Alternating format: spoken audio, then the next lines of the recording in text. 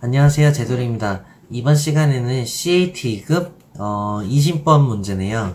어, 20번 문제 같은 경우는 그렇게 어려운 부분이 없습니다. 그래서 이것도 단순하게 한번 진행해보고 어, 풀이 과정대로 한번 쭉 해서 따라서 만들어 보도록 하겠습니다. 어, 그리고 타원 만드는 방법 꼭 복습하셔서 잘 풀어주시길 바라겠습니다. 그럼 바로 풀이 진행할게요 얘 또한 정면도와 평면도, 우측면도 테두리 작업을 먼저 해주고 그 이후에 설명을 하겠습니다. 먼저 layer를 들어가신 후에 이거대로 그대로 만들어 주세요. 문제는 물론 ATC 바뀌기 전에 CAD 마스터 쪽으로 되어 있지만 이제는 외형선대로 맞춰서 진행을 해주겠습니다. 먼저 대표로 외형선을 설정을 해주고요. 그 다음에 문자, 그러니까 문자 스타일은 굴림으로 바꿔주시면 되겠습니다. 그 다음에 치수 설정에 가셔서 modify 누르셔가지고 텍스트를 노란색으로 좀 바꿔주시면 될 것 같고요. 이 치수의 사이즈는 조금 더 크게 키워주시면 감사드리겠습니다. 자 그럼 작업을 시작하겠습니다. 먼저 정면도의 전체 박스 사이즈부터 먼저 만들어 주고요. 198에 90mm로 작업을 해주고 여기서 기역자로 만듦으로써 여기에 45도 선으로 작업을 해줍니다.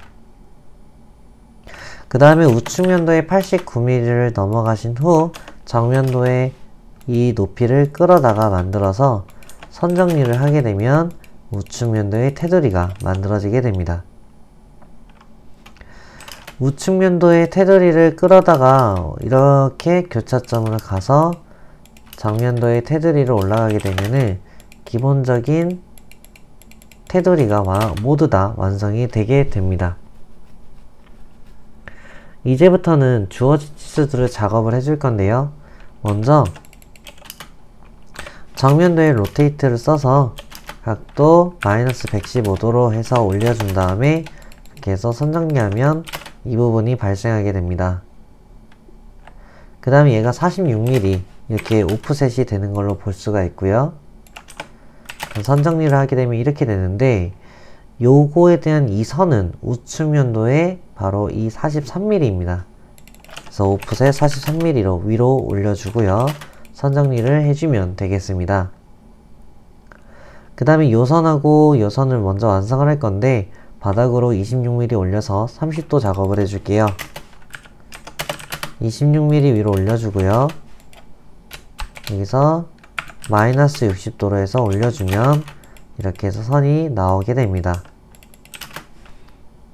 그럼 이 선이 63mm의 오프셋을 하게 돼서 선 정리를 하게 되면 이렇게 완료가 되겠죠. 그 다음에 여기가 이제 40mm에 25, 25mm가 있기 때문에 라인을 하나 그려서 오프셋 40mm로 넘어가 줍니다. 그리고 제가 맞춰놨는데 이 높이는 25mm로 작업을 하게 되면 이런 모양이 나오게 됩니다. 일단 여기는 23mm 정보가 있지만 조금 보류를 하고요. 그 다음에 우측면도에 작업을 진행할게요. 여기는 109도이기 때문에 로테이트를 써서 어, 109도로 해서 해주고 트림으로 연장해서 이렇게 선정리를 하게 되면 이렇게 될 거고요. 그 다음에 이 선은 오른쪽으로 23mm라고 합니다. 근데 23mm의 선이 가지만 이 바닥선은 평, 정면도의 이 바닥선입니다. 즉, 요 선이 되는 거고 이 선으로부터 23mm 오른쪽으로 넘어다가 이렇게 선 정리를 하게 되면 이렇게 해서 나오게 되는 겁니다. 그 다음에 주어진 치수는 여기 아까 했던 그 43mm고요. 이거는 스물선으로 바꿔주시면 되겠습니다. 그 다음에 여기서 오른쪽으로 30, 82, 아래로 38이기 때문에 이것도 넘어가 줄게요. 82에 38mm 그리고 여기가 원이 생기고 반지를 26짜리로 완성이 되겠습니다. 여기는 센터선이기 때문에 이렇게 해주고요. 여기는 조금씩 늘려주겠습니다.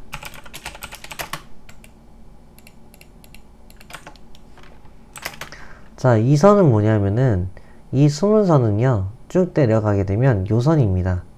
즉, 요선이 올라가서 이 선이 각도 마이너스 26도로 내려가게 됩니다. 그리고 자연스럽게 여기가 이 선으로 수문선으로 바뀌어 있는 모습을 볼 수가 있고요. 여기도 그대로 내려가서 같이 수문선으로 되어 있는 것을 볼 수가 있습니다. 자, 그럼 얘가 발생함으로써 여기에는 또 여러 가지가 나와 있는데 이 사각형을 만들어 볼게요.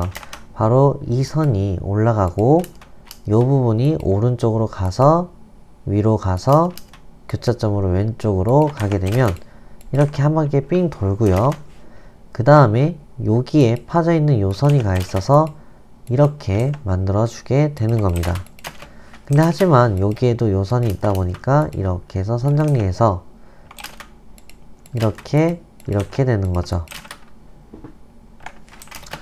그 다음에 요 선이 올라가서 이 선이 이렇게 되고 여기서 이렇게 이렇게 해서 이 선이 오른쪽으로 대각선으로 가는데 얘 같은 경우는 어떻게 가냐면 이 부분이 약간 이렇게 기울어져 있어요.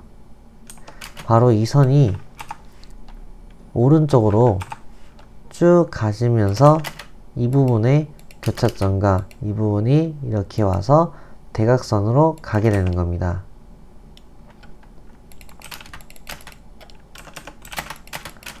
자 그러면은 요선 같은 경우는 그대로 내려와서 쭉 가게 되면 이렇게 나오고요.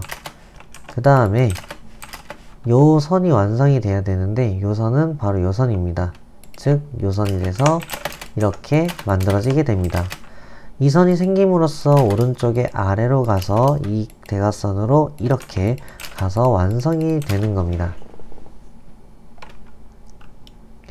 그 다음에 요선은 뭐냐면은 요선이 사실 여기까지 오는 겁니다. 얘가 여기에 오는 바로 여기까지 오게 돼서 선 정리를 하게 되면 이렇게 되고요. 얘가 결국 이런 식으로 오게 되는 겁니다. 자, 그리고 얘는 수문선 일단 바꿔주고요. 그 다음에 요 각각마다 순이 이렇게 올라가고 이렇게 올라가고 이렇게 올라가서 이 수문선 3개가 발생을 하게 되는 겁니다. 이렇게 이렇게 되고 얘는 제가 수문선으로 표현을 해주고요. 그 다음에 요 선은 오른쪽으로 가게 되면 여기죠. 이 부분이 올라가서 왼쪽으로 가게 되면 얘가 이렇게 얘가 이렇게 해서 형태가 이렇게 나오게 되는 겁니다. 요 선은 얘가 도중에 가다 잘리는데 사실 아까 안 했었던 요선이 내려가서 23mm로 내려가 가지고 이렇게 선정리되고 이렇게 발생하게 되는 겁니다. 그럼으로써 이 선이 발생을 하다 보니 이 선을 끌어다가 올라오게 되면 이렇게 선정림으로 완성이 되는 겁니다. 사이에 선은 정리를 해주고요. 자 이렇게 되면 평면도의 모습이 모두 다 완성이 됐습니다.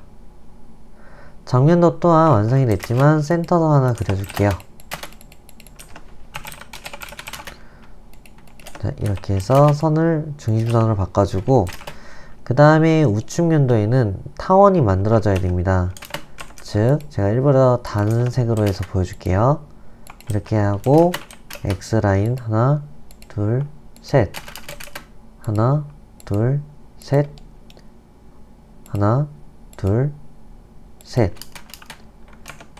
그리고 각진 건 요선이었기 때문에 연장해서 수평으로 하나, 둘, 셋.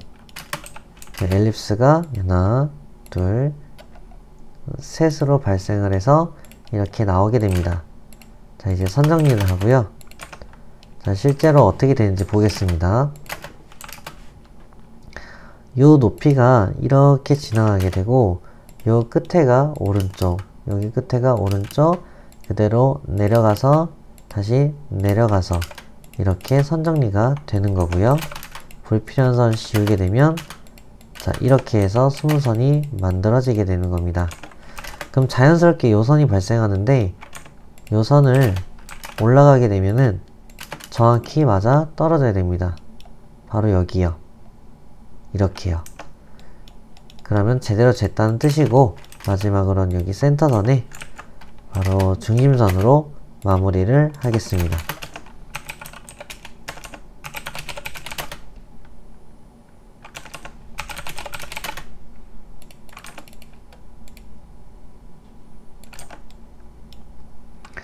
나머진 치수 기입을 통해서 마무리를 하겠습니다. 치수를 주고 선형 치수 여기 들어가 있고요. 여기 들어가 있고요. 들어가 있고요. 여기도 들어가 있고요. 여기도 들어가 있고요. 그 다음에 여기하고 여기 전체 사이즈 그리고 여기하고 요 사이즈 그리고 여기하고 요 사이즈 그 다음에 여기하고 요 사이즈 전체 사이즈 여기하고 요 사이즈 하지만 이제 조금 중요한 거는 여기에 선이 겹친다는 거 없애줍니다 자 컨트롤 1번 누르면 EXT line을 해서 1번과 2번을 off off해서 꺼주면 이 객체가 깨끗해지고요 얘도 선택해서 EXT line을 어, 반대로 꺼주겠습니다. 이런 식으로요. 그 다음에 반지름 여기 치수 주고요. 끝까지 도달하니까 D enter modify 눌러서 fit를 텍스트로 해서 끝까지 도달하게끔 해줍니다. 각도 치수 주도록 하고요. 여기도 각도 치수 여기도 각도 치수 다음에 대각선 DAL 써서 대각선으로 해주고 여기도 대각선으로 해줍니다. 속성 복사로 얘한테 얘한테 먹여주면 여기 보조선이 같이 없어지는 걸 볼 수가 있습니다. 자 이렇게 해서 완성이 됐습니다. 배치를 하고 싶으면은 첫 번째 CAT2급 그거를 보시면은 첫 번째 화를 보시게 되면 어, 작업을 할 수가 있습니다. 여기서 풀이를 완료하겠습니다. 예, 이렇게 해서 풀이 과정을 한번 보셨습니다. 얘 같은 경우도 그냥 단순하게 각도랑 이런 부분이 좀 주의만 하시면 될 것 같고 그리고 뭐 헷갈리지 않게끔 잘 끌어다 쓰시는 게 제일 중요하다고 생각을 합니다. 자 이렇게 해서 풀이 과정 마무리하고 우측 하단에 좋아요와 구독 버튼 좀 꼭좀 부탁드리겠습니다. 감사합니다. 다음 시간에 뵐게요. We'll be right back.